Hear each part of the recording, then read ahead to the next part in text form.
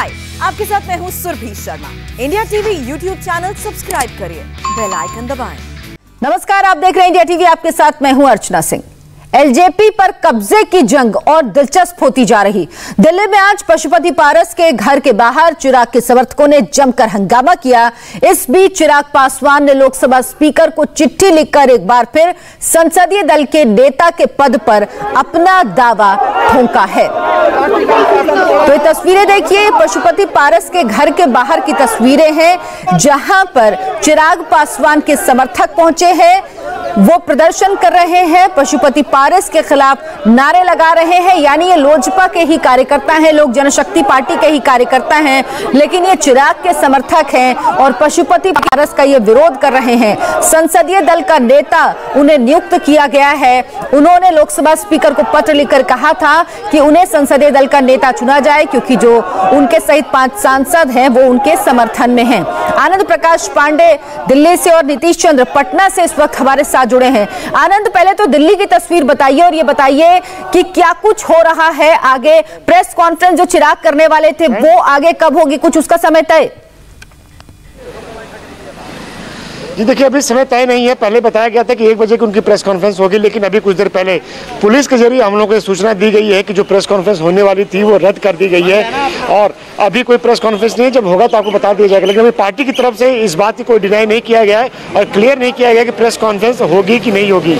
हालाँकि जो चिराग पासवान घर में पुलिस की सुरक्षा बढ़ा दी गई है बैरिकेड्स लगा दिए गए हैं, क्योंकि कुछ देर पहले यहाँ पे चिराग के समर्थकों ने यहाँ पे नारेबाजी की थी और पशुपति के खिलाफ भी उन्होंने यहाँ पे नारा लगाया था। पुलिस बंदोबस्त पूरा किया गया है, चिराग अभी घर के अंदर है और वो अगली रणनीति पर अपना विचार कर रहे हैं कि आगे उनको और क्या क्या करना चाहिए, पार्टी के संविधान के मुताबिक और राजनीतिक राजनीतिक दलों को लेकर जो कानून है उसके मुताबिक वो और क्या क्या किया जा सकता है ताकि पार्टी पर उनका होल्ड और कब्जा बना रहे, उसको लेकर लगातार वो अपने जो लीगल एक्सपर्ट्स हैं उनके संपर्क में है।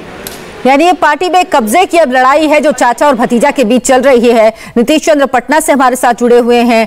नीतीश, अब से कुछ ही देर बाद दोपहर साढ़े तीन बजे तकरीबन पारस खुद पहुँचेंगे, पशुपतिनाथ पारस पहुँचेंगे पटना। कल वो राष्ट्रीय परिषद की बैठक में हिस्सा लेंगे, लेकिन कार्यकारिणी में उन्हें बाहर कर दिया गया है। तो ये किस तरह से पूरा समीकरण बैठेगा? देखिए, अब इसी बात पर सबकी नज़र होगी कि जो कल बैठक बुलाई गई है पारस गुट की तरफ़ से, उसमें क्या कुछ होता है? जो पशुपति पारस हैं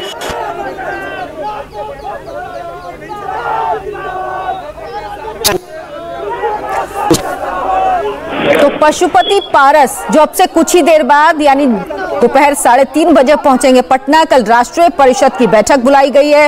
हालाँकि इससे पहले वर्चुअल बैठक बुलाई थी। चिराग पासवान ने एलजेपी की कार्यकारिणी की, जिसमें 32 सदस्य शामिल हुए और इस मीटिंग में पारस को बाहर करने का फैसला किया गया। आनंद पशुपतिनाथ पारस ने निकाल दिया चिराग पासवान को। हालाँकि वो कह रहे थे कि चिराग चाहें तो साथ में काम कर सकते हैं, लेकिन कार्यकारिणी की बैठक में बाहर कर दिया गया है पशुपति पारस को। तो अब कल राष्ट्रीय परिषद की बैठक किस तरह होगी? क्या कहता है संविधान इसके लिए? जी देखिए कल की राष्ट्रीय कार्यकारिणी की बैठक और उसके बाद राष्ट्रीय परिषद की बैठक होगी, जिसमें जो भी अध्यक्ष चुना जाएगा, उसके नाम का अनुमोदन किया जाएगा। हालाँकि कार्यकारिणी के सदस्यों के ऊपर है कि वो किसके पक्ष में वोट करते हैं। ज़ाहिर तौर पर पशुपति पारस ने ये बैठक बुलाई है तो उनके समर्थक वहाँ मौजूद होंगे। पशुपति पारस के नाम का वहाँ पे एक प्रस्ताव रखा जाएगा, फिर उनके नाम का अनुमोदन किया जाएगा। उनके नाम के समर्थन में जितने लोग वहाँ पे खड़े होंगे, उन सबका नाम लिखा जाएगा, उनका सिग्नेचर कराया जाएगा। और अगर पशुपति पारस के नाम पर सहमति बनती है तो उनको अध्यक्ष बना दिया जाएगा। हालाँकि चिराग पासवान का जो गुट है, उसने भी अभी हिम्मत नहीं छोड़ी, वो भी लगातार अपने लीगल एक्सपर्ट्स के संपर्क में है, क्योंकि उनको भी पता है, दोनों गुटों को ये पता है कि लड़ाई ज़ाहिर तौर पर चुनाव आयोग को जाएगी। यही वजह है कि जो भी लोग बैठ के कर रहे हैं, कल चुनाव, कल चिराग पासवान ने अपनी बैठक की थी और पशुपति पारस ने अपनी बैठक की थी।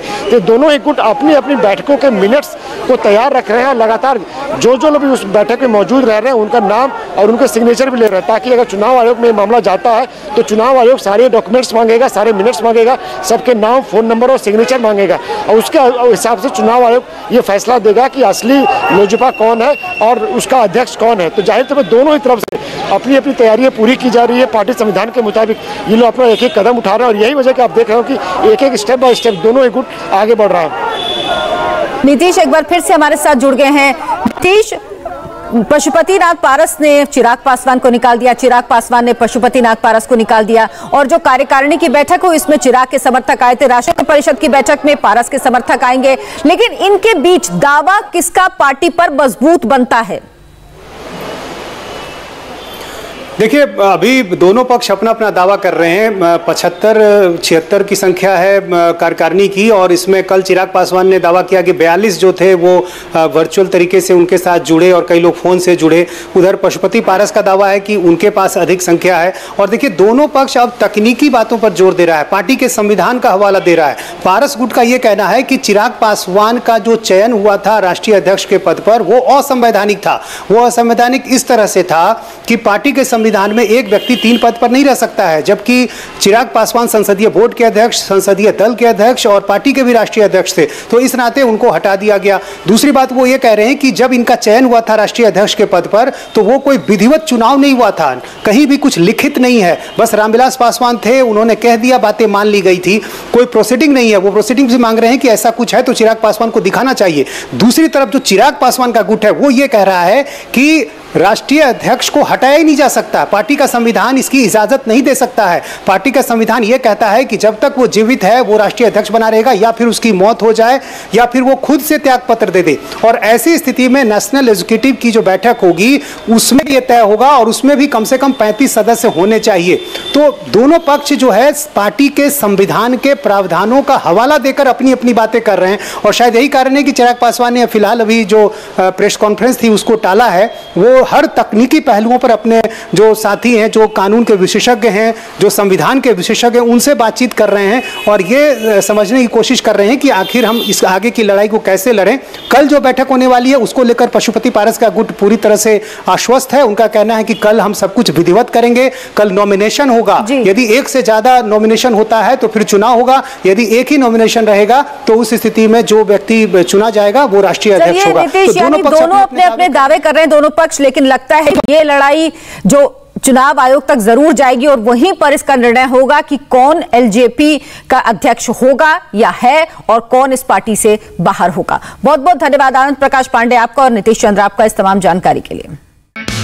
Hi I am Surabhi Sharma खबरों से अपडेट रहने के लिए India TV YouTube channel subscribe करिए। साथ में बेल आइकन ज़रूर दबाएँ। जुड़े रहें इंडिया टीवी के साथ।